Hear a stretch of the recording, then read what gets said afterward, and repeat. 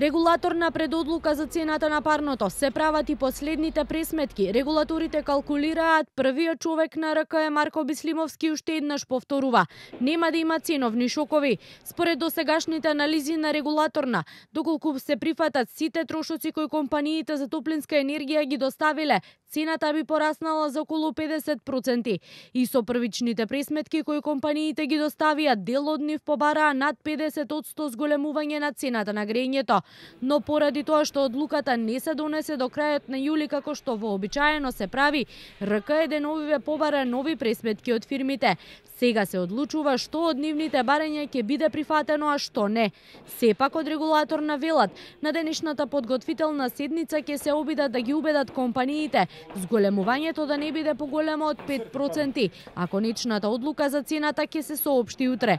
Дополнително од регулатор на неколку пати досега апелираат да продолжат и субвенциите кои државата ги дава на ЕСМ и за топлинска енергија, бидејќи доколку би ги немало, тоа дополнително ќе влијае на цената.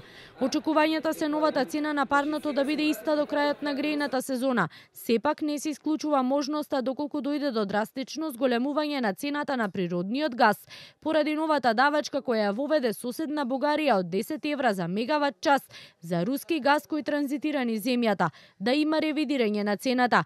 И натаму се чека одговор од бугарските власти. Дали ќе се ослободат неискористените а закупени капацитети од страна на руски Газпром, за да може да се снабдуваме и со газ од други извори. Оваа нова давачка може да го поскапи гасот во земјава, кој во најголем дел го користи тето, но и дел од фабриките лоцирани во зоните и до 25 од изјави предходно за Канал 5 првиот човек на Номагас, Байрам Реджепи, па од тука според познавачите можно изголемување на цената и на парното, но и на електричната енергија.